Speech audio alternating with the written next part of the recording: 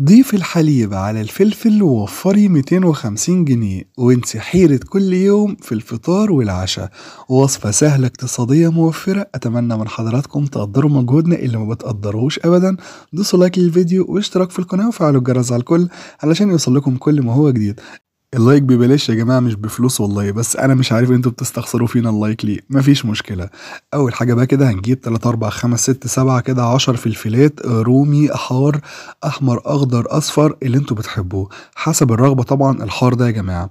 هنبدأ إن إحنا طبعا نشيل كده البذر ونشيل الجزء اللي هو الخلفي من الفلفل وبعد كده هنضيفه في الحلة وبعد كده هنحتاج كوباية من الحليب. ممكن كوباية صغيرة زي ما أنتوا شايفينها كده يا جماعة أو نص كوباية اللي هي بتاعت الشاي الكبيرة. بعد كده هنضيف طماطماية متقطعة كده أربع تربع تكون صغيرة. بعد كده نص معلقة صغيرة من البابريكا. ولو مش موجودة مفيش مشكلة. هنرفع بقى الحلة دي على النار لغاية ما تبدأ إنها تغلي. أول ما تغلي هنوطي كده لمدة سبع دقايق. بعد كده لو أنتوا عندكم جبنة قريش أي نوع جبنة عندكم مفيش مشكلة. أنا كان عندي قطعة من الجبنة القريش ولكن كانت متفتتت بالشكل ده. صفتها من المية ومن الشرش اللي هو بتاع الجبنة.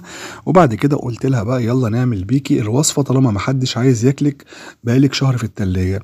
هنجيب بقى دورق كده ال hand blender بتاعنا وهنبدأ ننزل بالجبنة بتاعتنا. ممكن تستخدموا الكبة عادي مفيش مشكلة. نزلنا بقى بالجبنة وبعد كده هنكمل الباقي. عايز أقول لكم لو مش عندكم يا جماعة مثلثين من الجبنة النستو مفيش مشكلة. لو أنتوا حابين تزودوا قيمة غذائية وكمان طعم أحلى ممكن تضيفوا مثلثين من أي نوع جبنة نستو عندكم.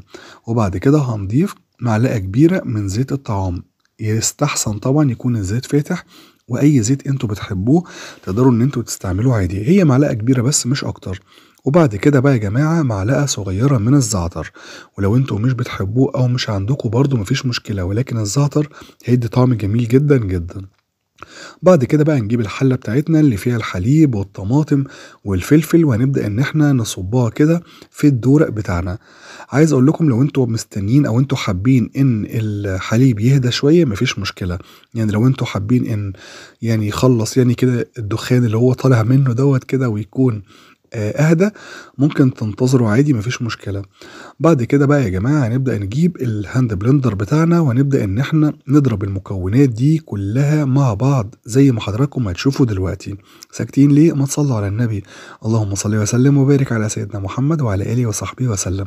شايفين يا جماعة بمجرد ما ضربنا المكونات دي كلها طلعت لنا أحلى جبنة ممكن تاكلوها في حياتكم. عايز أقول لكم من أجمل وأحلى الجبن اللي أنا أكلتها في حياتي. بصراحة شايفين يا جماعة القوام عامل إزاي؟